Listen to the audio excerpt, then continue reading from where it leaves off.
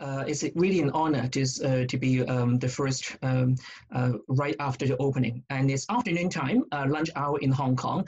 Uh, I've seen there are Hong Kong viewers uh, from our Facebook page joining the live. So I would also like to say welcome, Hong Kongers. wonderful to see you joining this unprecedented initiative with the Together We Remember Coalition um, and the Hong Kong Holocaust and Tolerance Center. I guess we're all set, David.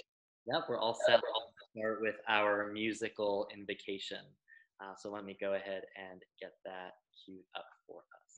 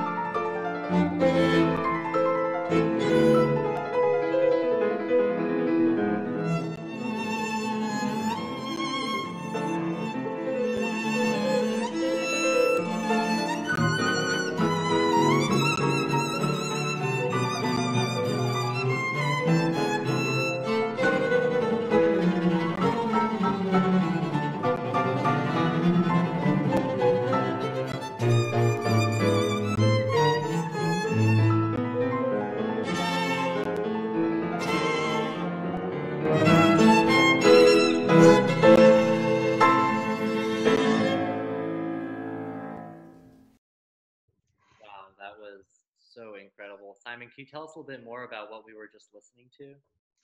Sure. Um, this was a, um, with Hong Kong um, uh, Chinese uh, uh youths uh, who played a piece of um, Holocaust music, uh, which which we um, used um, to start with the United Nations Holocaust Memorial Day commemoration in Hong Kong earlier this year, before the outbreak of the COVID-19. So this is one of the uh, music, we, uh, music is powerful. So uh, when, I, when, when I first um, got the invitation from you saying that, hmm, besides poem reading, uh, how about using some music, uh, survivor stories to start the commemoration? this piece um, immediately came to my mind. Yeah. Thank you so much for sharing that. And to our viewers, Uh, you're probably seeing a little bit of a lag on the video. It's the best we can do with the, the Zoom gods, um, but definitely within, with intent, the audio will come through clearly. Hopefully the, the visual is also um, coming through pretty clearly as, as well. Um, but in the meantime, Simon, I'm gonna go ahead and queue up some of your first slides. Um, so let's sure. And uh, in meantime, I would just like to say uh, hello once again uh, to our viewers. Um, good evening to Americas. Uh, good afternoon to Asia. Uh, Hong Kong is now just right after 1 p.m. and Oceania. Uh, good morning to Africa and Europe. very warm welcome from the Hong Kong Holocaust and Tolerance Center, whichever time it is when you're joining our special live from Asia. welcome. Uh, we are delighted and honored to participate in this 24-hour virtual global vigil for Genocide Awareness Month. Global solidarity is now um, more important than ever in this uniquely challenging time. Uh, as we begin, uh, we send our wishes uh, and hopes to all who are affected by COVID-19 um, around the world. Uh, as you know, uh, Hong Kong has been impacted also a lot um, since earlier this year. HKHTC, uh, um, the name, of the acronym of our center, Hong Kong Holocaust and Tolerance Center, uh, is a nonprofit entity uh, founded in 2011 to advance education and awareness of the Holocaust and also genocides around Asia as well as promote um, the ideal of tolerance. So I just thought uh, in the beginning, um, uh, you might be interested to know more a little bit about uh, this Holocaust Center uh, in Hong Kong uh, and in, in fact in East Asia. Uh, we are one of the um, very active organizations which does educational work to promote tolerance. Um, there's a huge demand for Holocaust and tolerance education in Asia. Um, countries throughout the region um, have suffered mass violence and genocides in the past. And Holocaust education uh, is a way to raise awareness about the origins of conflict and discrimination, as well as to explore the long lasting shadows genocides cast over societies.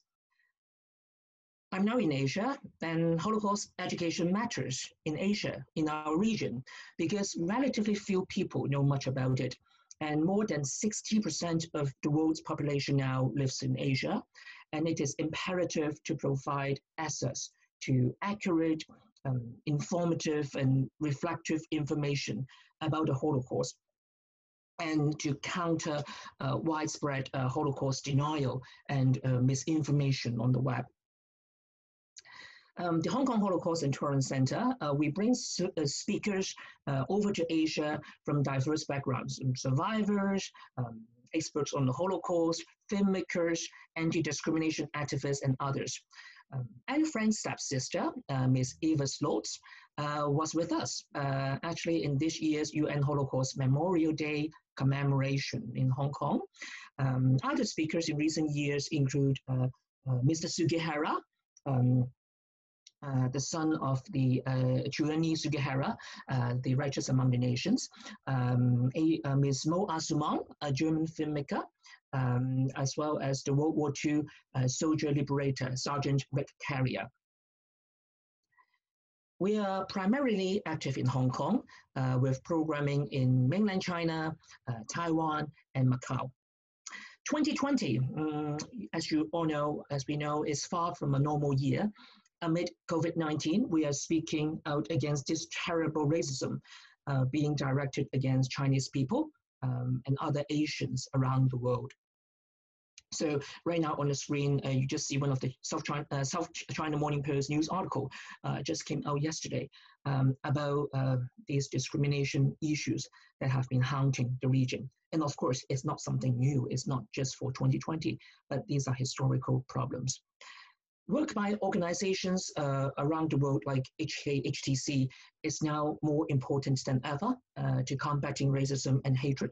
As we continue our programming um, in the region on um, our bilingual, bilingual means Chinese and English, um, educational materials and lectures on the Holocaust, um, the Nanjing Massacre, and also the Cambodian genocide.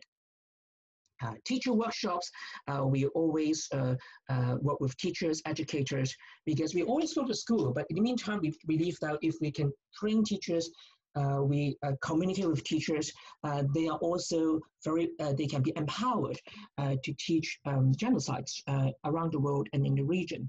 So we work with teachers very closely. The photo you're looking at now, well, one of the teachers workshop we've done in Taiwan, in Hualien. Um, of course, we also do exhibitions, conferences, major remembrance events, and school outreach is our core work.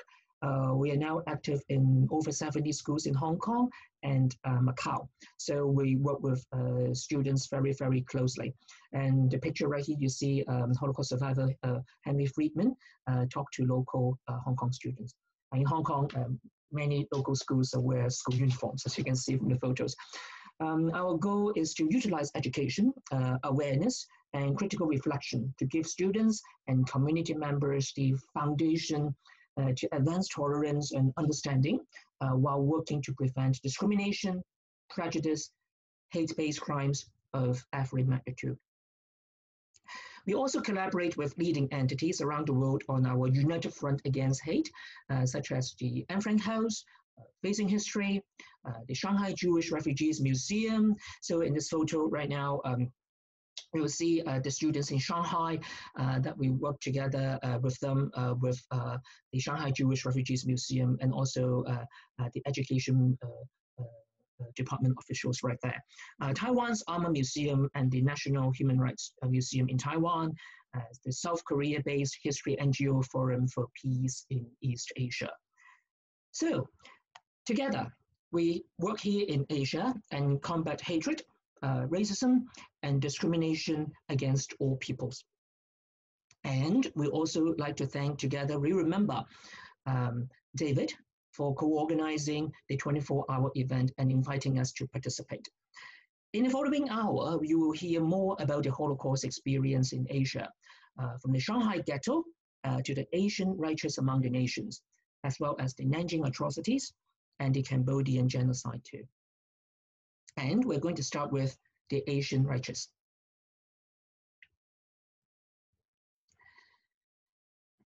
Amidst the mass murder of the Jews of Europe in the Second World War, uh, some non-Jewish people um, risked their lives to stand up for humanity and against bar uh, uh, barbarism and hatred.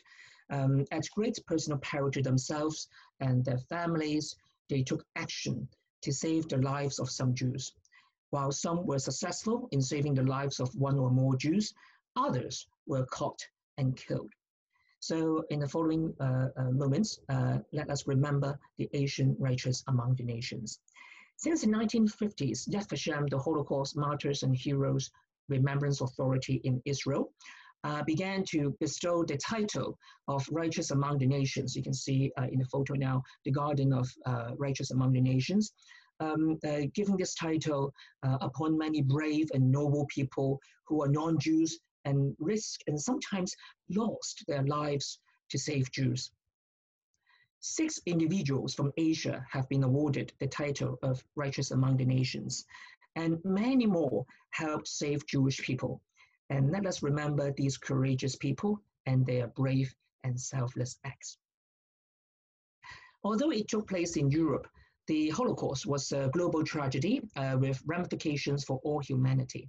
The exemplary actions of these Asian righteous among the nations. Uh, one of them right here, uh, you see uh, Ho Fengshan uh, is the Chinese consul general in, uh, in Vienna during the Second World War in the nationalist Chinese government. Uh, again, they are an inspiration for all, no matter uh, what race, color, or creed. These brave men and women show us that despite apparent differences, we are all human beings and have the choice to do humanitarian acts or be bystanders in the face of danger and personal harm. One of them was Chiune Sugihara. Chiune Sugihara was a Japanese diplomat who defied the principles not only of his profession, but also of a traditionally ordered and obedient society in order to save thousands of people located a world apart from Japan in Kaunas, Lithuania. There, as a vice general, uh, vice consul of Imperial Japan, and over a period of less than one month during the summer of 1940, He violated his government's instructions and issued over 2,000 transit visas to Jewish refugees, mostly from Poland, enabling an estimated 6,000 Jews to escape the Holocaust.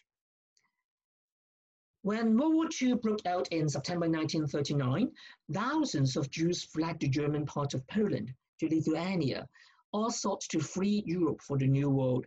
But because they could not go south or west through the Nazi-occupied areas, the only way out for the refugees was to uh, uh, traverse the USSR by Trans-Siberian Railway to the Far East and try to get to the Americas from there. And it was during this period that Sugihara was assigned to open a Japanese consulate in Kaunas, the temporary capital of Lithuania. And in Kaunas, uh, uh, Sugihara served alone as vice consul and also as an intelligence agent reporting on Soviet and German troop movements. With the Soviet annexation of Lithuania in summer 1940, the communist authorities ordered all consulates in Kaunas to be closed. Sugihara had sought a short extension and was among uh, only a handful of foreign diplomats left in Kaunas. And he immediately found himself in, in, in, uh, inundated with uh, pleas from desperate Jewish refugees begging for transit visas to Japan. Thousands of them besieged the consulate day and night, if you can see the photo right here on the left. And when Sugihara sought instructions from Japan, he was told that the applicants must hold a valid visa for a final destination and sufficient funds for the journey. So most had neither of these requirements. And also, the Soviet authorities still demanded that all refugees obtain transit visas for Japan in order to ensure that they left the USSR. After consulting with his wife Yukiko, Sugihara reached a difficult decision. By disregarding the instructions of his superiors, he knew he faced possible dismissal and disgrace by his family. However, uh, confronted by the sea of desperate refugees clamoring for visas, his humanitarian instincts won out. He said, I may have to disobey my government, but if I don't, I would be disobeying God working sometimes for more than 16 hours day after day between July the 31st and August the 28th, 1940, in the period before the consulate closed. He manually filled out some 300 visas a day. And when we talked about this figure, 300 visas a day, that's more than he would normally do in a month. In the photo right here, you see Yukiko, uh, his wife. Yukiko actively assisted him in this task. And even as they boarded the train to leave Kaunas, the Sugiharas were handing out visas and finally even the stamp so that the refugees could just use the stamp to forge these vital documents. Remarkable story. Here you see Sugihara's list, a long list of those people that were uh, uh, uh, say while we while around the world we hear Schindler's List uh, very often, there's also this Sugihara's list. And overall, Sugihara issued uh, 2,139 visas.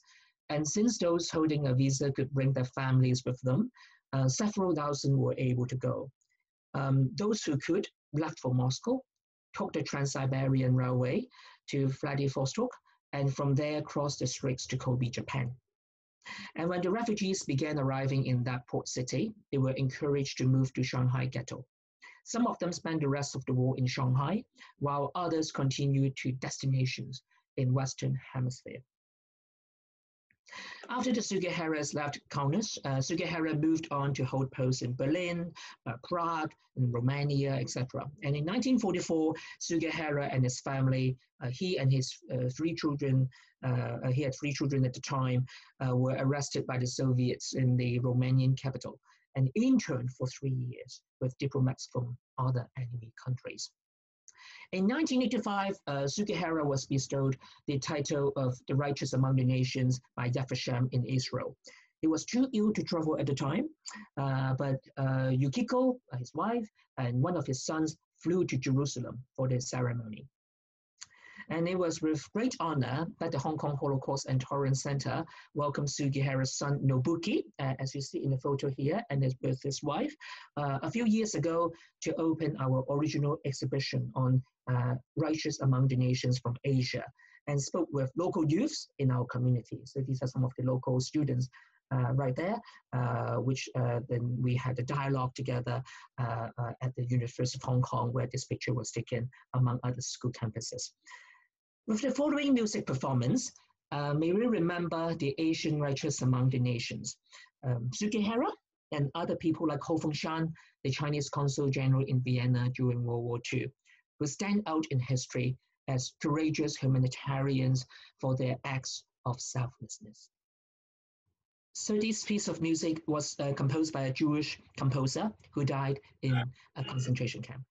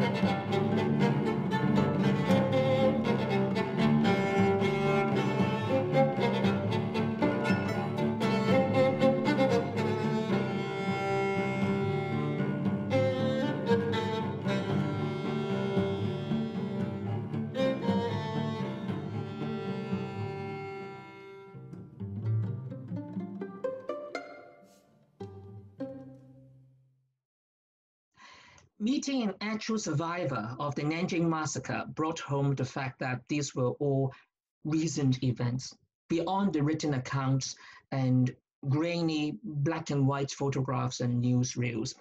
Um, several years ago, I met Ai Yiying, a survivor of the Nanjing massacre. On a chilling winter day in 1937, um, Ai Yiying's uh, father, um, uncles, and her cousins were taken away from their home by the Japanese soldiers. They were hiding themselves in a cow shed at the time. Six of them were then killed and one severely injured.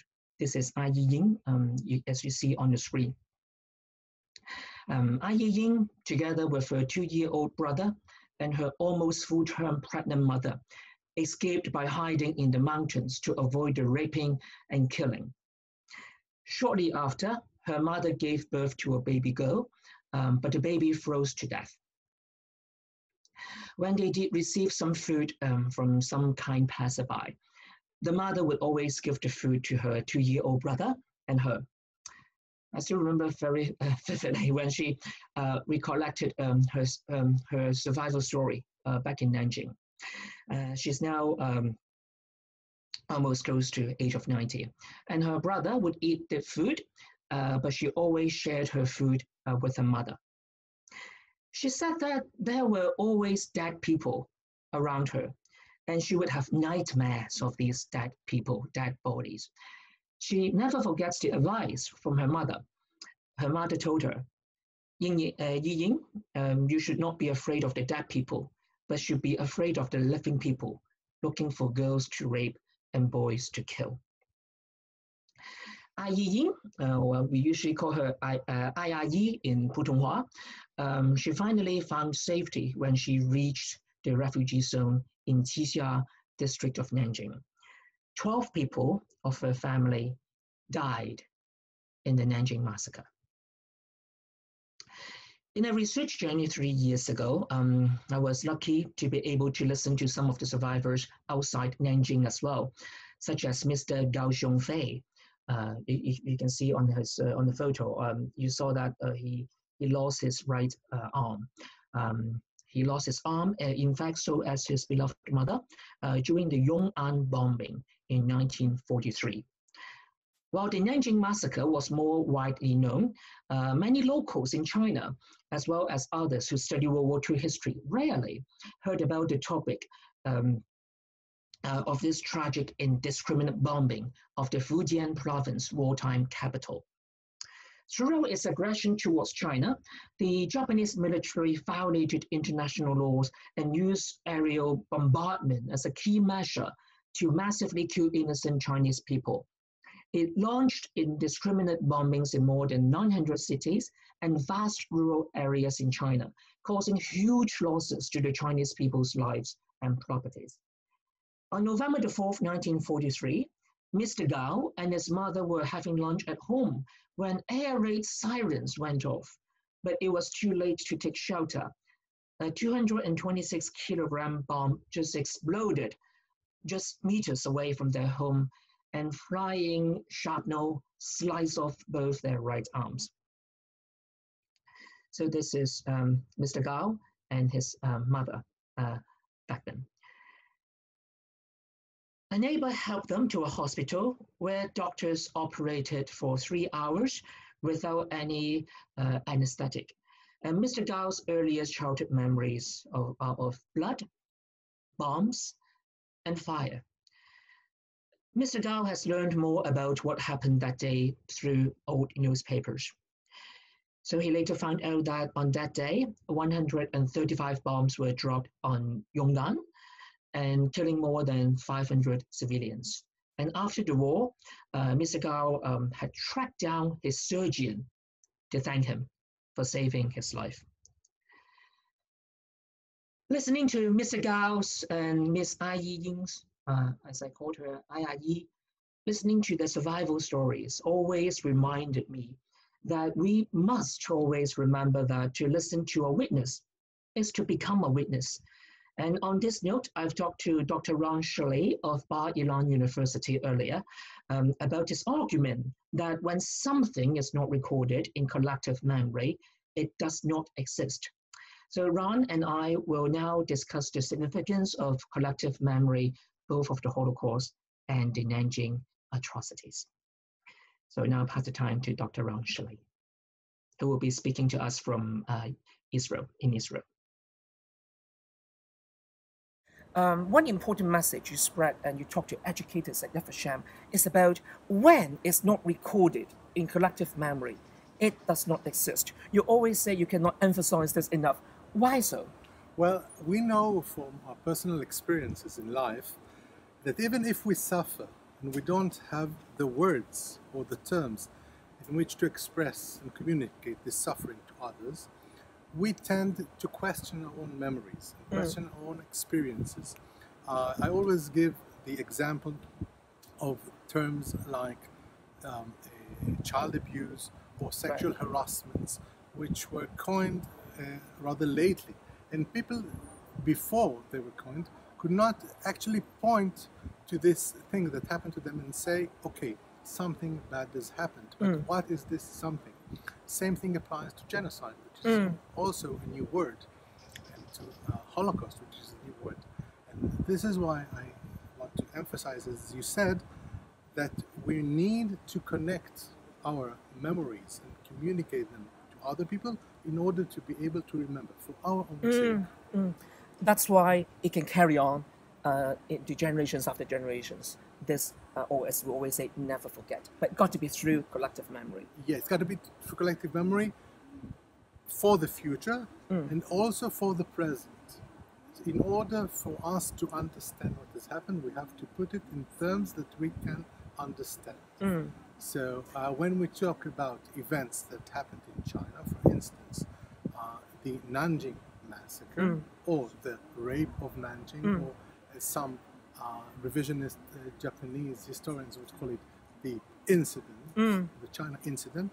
We're talking about very different uh, terms and which refer to very different concepts of what has happened. And that's why language is utterly important it when it comes to that. Mm. Of uh, the utmost importance, yes. That's right. And, and you just mentioned a bit about uh, World War II in China, as you say, Nanjing atrocities and, and and all the painful memories, particularly, uh, for, of course, when we talked about Unit 731, uh, the biochemical uh, warfare in China during the Second World War. Um, one important bit when we talked about um, war trials, of course, um, uh, perpetrators in the Unit 731 uh, often uh, it, it, it, it, puzzled people why they escaped a, a proper verdict or, or, judgment. And I know you will soon go to China to talk about, uh, in Shanghai, uh, to, talk to, uh, to talk to students, to talk to the public about war criminals, war crime. Uh, can you elaborate more, a bit more about your upcoming tour? Yes, uh, Jiao Tong University, very thankful to them because they have invited me to talk about massacres of uh, Chinese in Southeast Asia, mm. and these massacres, like uh, uh, the uh, experiments that were done in China, have evaded justice and evaded verdict. So you can uh, look at trials that were done by the British and the Australians mm. in Singapore and in Rabaul in, in, Papua New Guinea, see that uh, uh, justice was not actually done in the case or in cases where victims were Chinese. The Shanghai Ghetto is a story of Jewish refugees who fled Nazi occupied Europe and found refuge in Shanghai during World War II. While Jews were denied entry to most countries, Shanghai's open port enabled upwards of 20,000 Jewish refugees to immigrate to the city between 1933 and 1941. Today, uh, we remember their influx to the city, their vibrant cultural life, and later, the increasing restrictions imposed on them by occupying Japanese officials. Isolated and overcrowded in Shanghai's Hongkou district, Jews faced debilitating conditions, among them starvation, um, disease, and psychological duress. By 1938, and with the devastating events of Kristallnacht, the few doors still open for Jewish emigration um, had closed. The second Chinese, uh, the second Sino-Japanese War, uh, which began in July 19, 1937, uh, would have unlikely implications for Europe's Jews. The advance of Japanese troops uh, soon led to the Battle of Shanghai, um, a grueling, grueling military campaign that lasted three months. By November, large parts of Shanghai had fallen under Japanese control, including the part of the international settlement referred to as the Hongkou district. Um, earlier uh, this hour, I've talked about the Shanghai Jewish Refugees Museum. Uh, in fact, this is where um, the museum is located in the Hongkou district, uh, which is still um, in Shanghai today. And the city's port uh, remained open until uh, August 1939, enabling Jews to enter without a visa. Soon, tens of thousands of desperate refugees from Germany and Austria arrived in Shanghai after a long voyage by sea. Most had left behind their loved ones and the only country they had ever known. To receive an exit permit, they were forced to forfeit their homes, their businesses, and almost all of their belongings. With the attack on Pearl Harbor in December 1941, uh, the United States declared war on Japan and the war became global in dimension. Japanese troops invaded Shanghai's foreign uh, enclaves and took full control of the city. And this resulted in more restrictions on Shanghai's Jews, who suffered from shortages of food, um, clothing, and medicine uh, while enduring um, unemployment and isolation. And they knew nothing about the fate of their families. The war also disrupted the flow of funds to Shanghai. So uh, that ended the charitable donations from American organizations that vitally supported um, many of these uh, more destitute uh, refugees. And from this point on, Jews were also subjected to Japanese decrees, and among them, stricter security measures. Once full-scale war had erupted, the Germans began pressuring their Japanese allies to apply anti-Jewish policies to Shanghai's refugee population and that all stateless refugees who had arrived in Shanghai after 1937 were to be rounded up and forcibly relocated to a restricted area in the Hongkou district and would be known among Jews as the Shanghai uh, or Hongkou ghetto. The Hongkou ghetto was a drab, impoverished area of less than uh, one square mile with a population of approximately 100,000 Chinese and 25,000 Jews. The area was badly damaged in 1937 and had been hastily and poorly reconstructed. Finally, overnight, the population in the ghetto swelled to bursting point, imposing tremendous economic, physical, and above all, psychological burdens on Jewish and Chinese internees. Whole families were squeezed into single rooms. Uh, we're talking about as many as 30 shared a room, and often in apartments that lacked modern toilets. And worse, there was no running water and sanitation was dire. Ensuing um, malnutrition and disease uh, brought the total uh, mortality figures for 1943 to several hundred. And despite these agonizing circumstances, there were also demonstrations of humanity. While millions of Chinese have been refugees themselves since Shanghai fell to the Japanese, uh, Chinese residents in Hongkou vacated their own rooms in order to accommodate Jewish refugees. And of course, um, there were uh, uh, very good records uh, in this time from primary historical documents about how there were lots of friendships between uh, Chinese residents and Jewish refugees. Moreover, before, before the ho hospitals for Jewish refugees were operational, uh, Chinese hospitals treated a great number of Jewish refugees and saved many lives. While separated by uh, language and culture, uh, Jews and Chinese found solidarity through shared struggle. And speaking of finding spiritual strength during struggles, um, uh, we cannot miss the topic of music. Uh, uh, before we started, uh, David was asking about uh, pieces of music. And again, uh, every year in our uh, annual commemoration, um, no matter it's Yom HaShoah or the United Nations Holocaust Memorial Day, we greatly use music um, because it's just a, a, a vital piece when, it, when we talked about survival and strength. So now I'm going to speak with musicologist Tamar Mercado at Yad about the role of music in survival during this tragic period. Here at Yad Vashem besides me is Tamar. She's a musicologist and also an expert of Holocaust, uh, Holocaust music. Thank you for joining me. Thank you. Tamar, can I ask, when we talked about Holocaust music, I think one thing that is really um, amazing during the Holocaust was that the Jews kept singing, kept composing. The music never stopped. That's right. Why Absolutely. was that? This was just um, quite a phenomenon. Why the music never stopped during the Holocaust?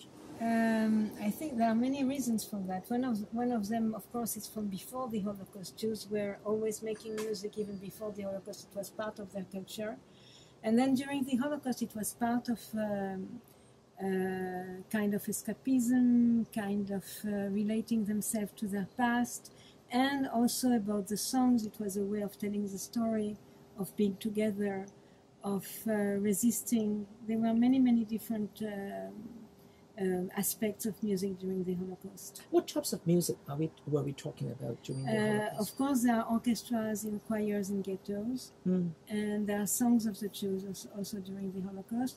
I'm talking about the, the music that the Jews made, uh, created by their own will. I'm Of not course. talking about the, the music that the Germans obliged them to play. Mm. There's a big difference, of It's com- course. com- complete, something completely different. Mm.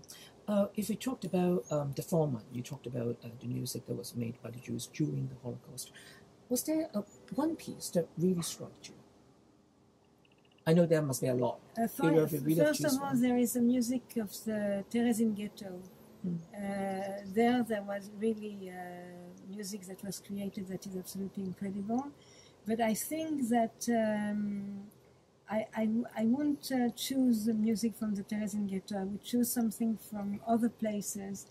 And uh, specifically, I would go um, from the anonymous Jew who would sing even in camps and in extermination camp when everything seems, seems to be lost. And he goes on singing and uh, praying and singing through his prayer. I don't think it's a specific song, but the way, the, the determination to go and singing. And uh, there are many stories about that. And um, I think that's fantastic.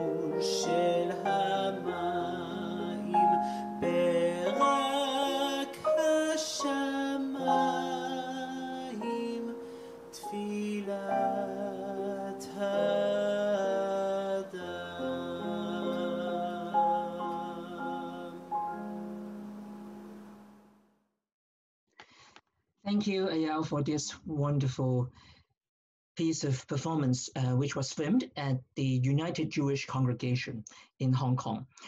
On our Facebook live chat room, I've seen a question from our viewer Danny. Uh, Danny, you asked how many Jewish refugees were there in Shanghai from 1933 to 1941. Uh, the figure is more than 20,000 uh, Jewish refugees uh, in Shanghai at the time. Uh, by the way, thank you for your question, uh, Danny. Uh, really love this interaction while we're doing live, so that um, uh, we can uh, uh, we so that we know first of all you're watching, but we also know to know you also, for the audience you you care about these forgotten um, topics in history. And now, uh, to remember the Cambodian genocide, our next speaker is Dr. Emily Tran. She is an academic in European Studies at the Hong Kong Baptist University. Emily was born in Phnom Penh on the eve of the, uh, uh, of the Khmer Rouge Revolution, um, whose brutal regime would turn Cambodia into a mass labor camp, resulting into one of the worst genocides of the 20th century. Emily fled uh, Cambodia to France following the Cambodian genocide. Um, so now uh, Emily is now teaching in Hong Kong and lives in Hong Kong. And uh, it's my pleasure uh, to introduce Emily and now pass the time to uh, Dr. Emily Tran of Hong Kong Baptist University. My name is Emily Tran Sotode, and I am a survivor of the Cambodian genocide. Last year, 2019, marked the 40th anniversary of the fall of the Khmer Rouge regime. The Khmer Rouge were insurgents driven by Marxist ideology, and their army was led by a man called Pol Pot. They terrorized Cambodia from 1975 to 1979. In the regime's pursuit of a classless agricultural society, they perpetrated mass killings primarily targeting the middle class and intellectuals, such as doctors, lawyers, journalists, artists, and students, as well as Chinese Cambodians, ethnic Vietnamese, and Cham Muslims.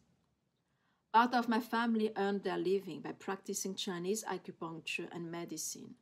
The other part of my family was in the trade business. My family had all the wrong labels, being both capitalist and intellectuals. Like the other so called enemies of the regime, we were sent to labor camps, prisons, and killing fields across the country, wherein 1.7 to 3 million people died of torture, disease, and starvation. The death toll during that period wiped out to one fifth of Cambodians' population. As time goes on, Cambodians are steadily overcoming the trauma. Today, Cambodia is a young country with nearly half of its population under the age of 24. Most Cambodians have no direct experience of the conflict. Those who remember it would be in their 50s or older, which means less than 10% of the population. Life expectancy in Cambodia has risen from just 40 year old in the 1980s to 69 year old today. However, outside the country, among the Cambodian diaspora who left their country and migrated to other countries as refugees, there are quite a number of survivors, like my family members and myself. We migrated to France in 1980, like many other Cambodians and Vietnamese boat people. Four decades on, Cambodia is a developing nation of about 16 million people. It is still grappling with its past, not just the genocide, but also the civil war that followed and continued through the early 1990s. From 1979 to 1990, the Khmer Rouge held onto its seat in the United Nations General Assembly and was recognized as the only legitimate representative of Cambodia. When Pol Pot died in 1998, he was only just about to face the possibility of a trial for his unspeakable crimes. Two years ago, in November 2018, a UN tribunal delivered a historic ruling convicting two of the regime's last surviving leaders of the genocide, Nuon Chea and Khieu Samphan. Both were sentenced to life imprisonment. That significant verdict underscored the lingering legacy of the genocidal regime on Cambodian society today. As one of the worst mass killings of the 20th century, the genocide left behind lasting scars. Its legacy still haunts Cambodia in a number of ways. As a matter of fact, many former Khmer Rouge personnel remain in power, including Prime Minister Hun Sen. The government's grip over information has certainly inhibited any open and honest free conversation about what the Khmer Rouge regime was. The government's grip over information has made impossible the achievement of some kind of understanding of what happened. More time will need to pass before the nation can even really begin to come to terms with its history. In the meantime, here I am before you and with you at this unprecedented 24 global virtual vigil.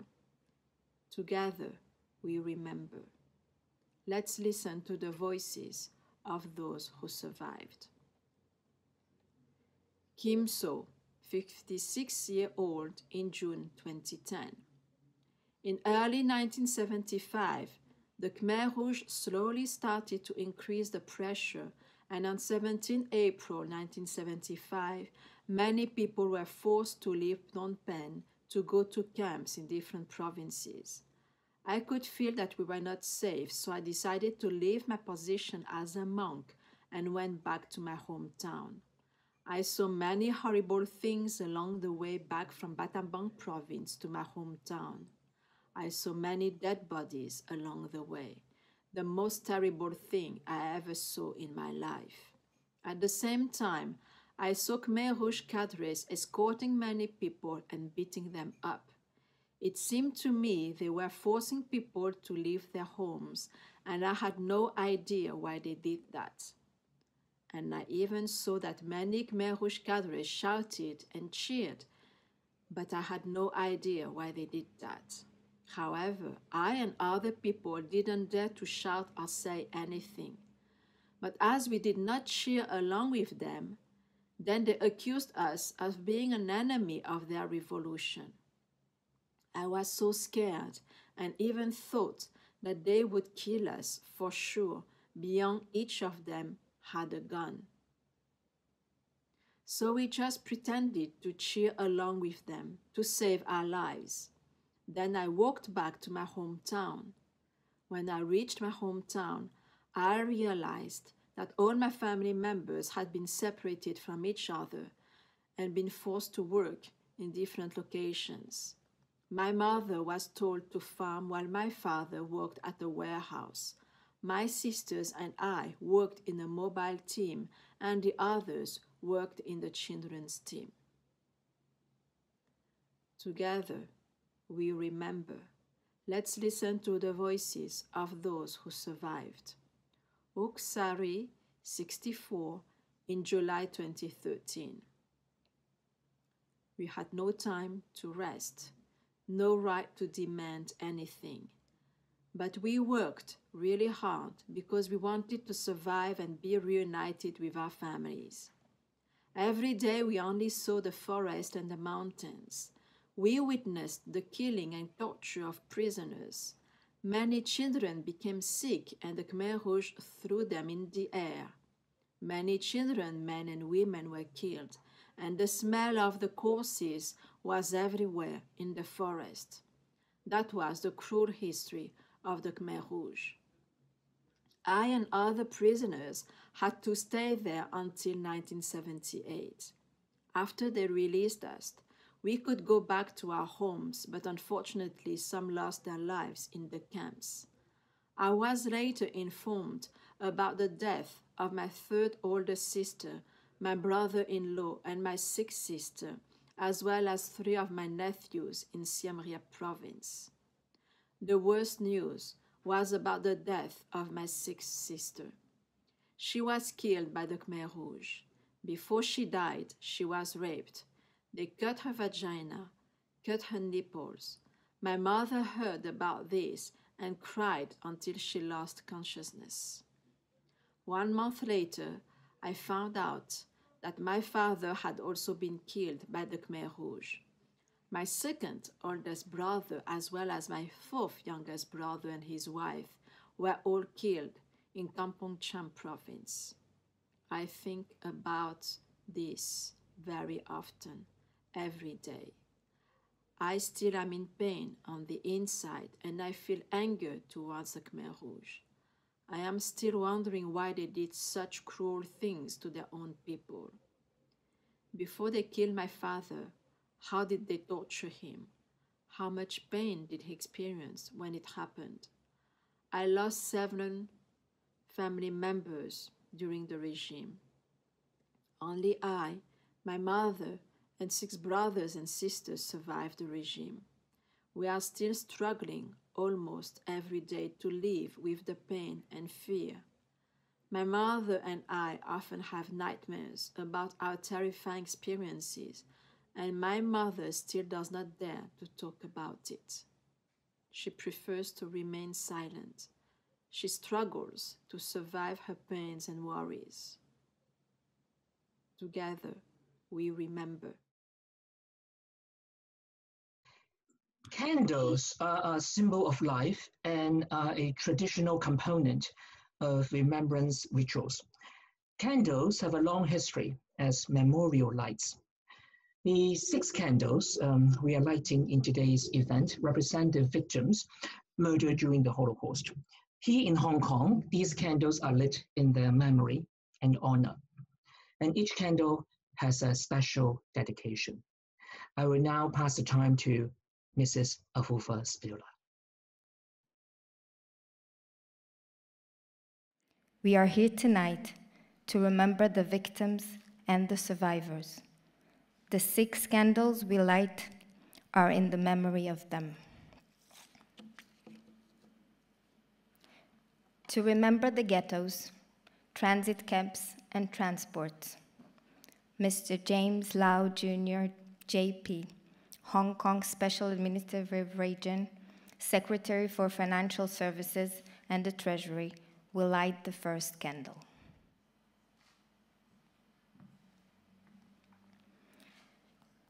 To remember the concentration camps, Rabbi Martha Bergadine, United Jewish Congregation of Hong Kong, will light the second candle.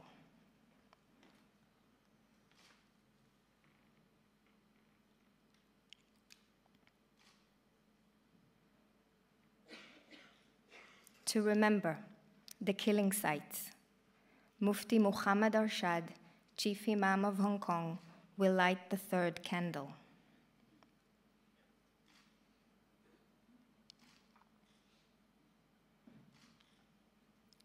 To remember the death camps, Mr. Igor Sagitov, Consul General of Russian Federation, will light the fourth candle.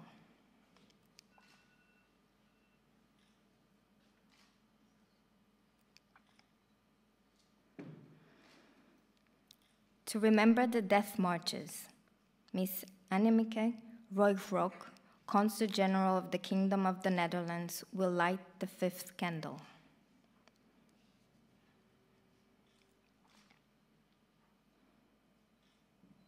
To remember the other victims, the Roma and Sinti, the mentally and physically handicapped, political prisoners, resistance fighters, homosexuals, and Soviet prisoners of war.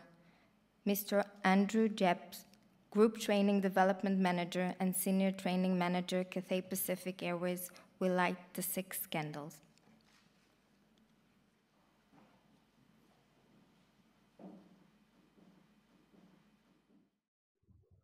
For most of our audience, hearing about the Holocaust or meeting a Holocaust survivor is a unique and transformative event. Um, it triggers curiosity to know more about one's own past, as well as about the fragility of civilized societies in the face of discrimination and hatred. Awareness about the suffering of others is crucial circuit breaker to prevent discrimination, violence, and persecution, especially of minorities.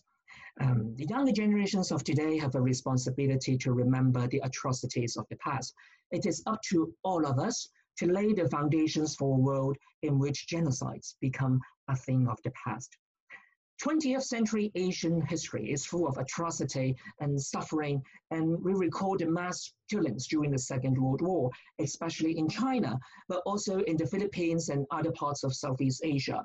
The rape and torment to which women were and still are subject, and genocides in Indonesia, Cambodia, Bangladesh, East Timor, and not least uh, the ongoing suffering of the Rohingya Muslim minority and those living in the unspeakable conditions in North Korea. Each of these needs to be better known, and it is incumbent on all of us to strive to raise awareness of these and other atrocities. Knowing about the Holocaust as a critical juncture of human civilization is very important because Holocaust denial is so widespread on the web. Uh, misinformation and dehumanization are the foundations on which intolerance and mass violence grow.